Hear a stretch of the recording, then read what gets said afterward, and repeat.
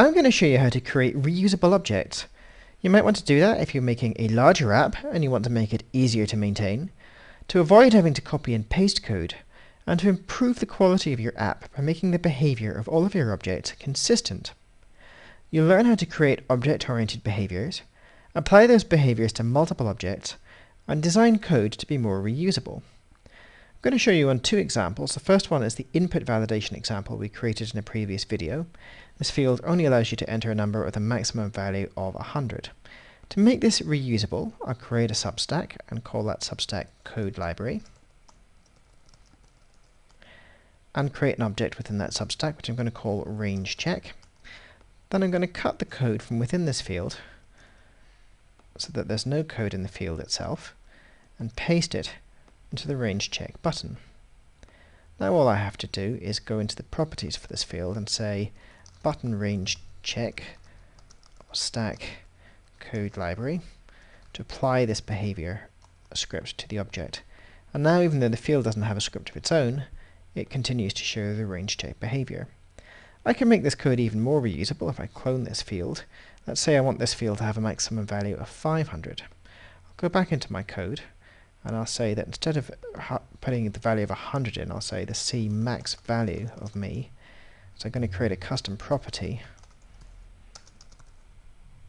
And the thing is, I can apply that custom property to each of these objects and it can have a different value, and yet the code will remain the same. So I can put C max value into this object and set that to be 100, and then C max value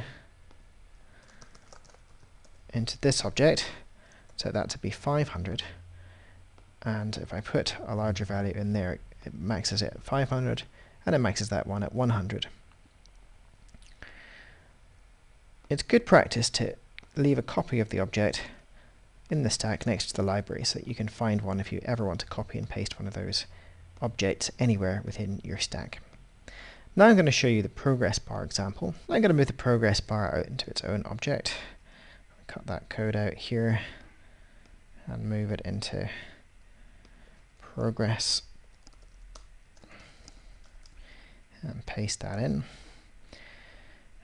I'm also going to make the object resizable when you resize it. So the first thing to do is to have it save the custom property on each object. So pass C progress means that when I set pre C progress, it will actually get saved as a custom property. Then on resize control, put the rect of me into the rect. Add 4 to item 1 of the rect groups have got a margin of 4 pixels, so I need to add that margin into any size calculations before I change the objects within the group.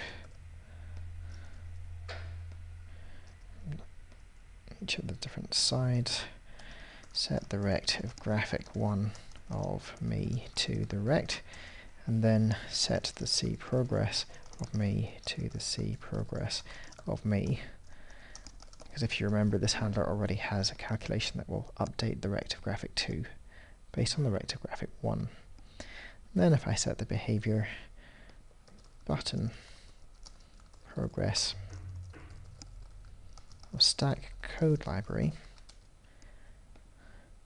I can set that and I have an object which is fully resizable. And I'll leave myself a copy of it there.